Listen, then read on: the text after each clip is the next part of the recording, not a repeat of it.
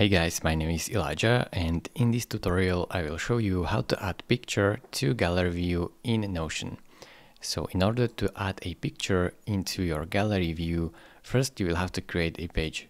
So right now I have created these pages and I want to add a picture to it. So I will click on edit, open in center Centerpeak and right now go up here and these options appear and I can add a cover. So click on add a cover and it will automatically add a cover for you. If you want to change it, click on change cover right here.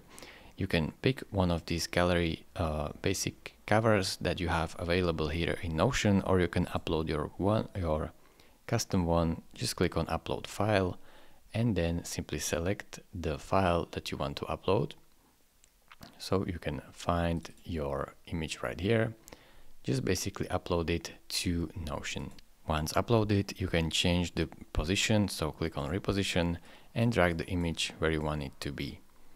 Then simply click away from this box and it will save it to your gallery view. As you can see, it is not visible now. This is because you have, have to go to settings and then layout and simply select card preview and change it to page cover.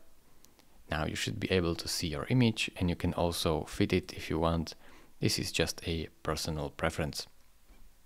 It is really simple if you want to delete this cover, just click on it and click on change cover and remove.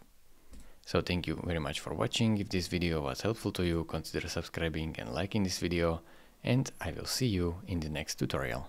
Bye bye.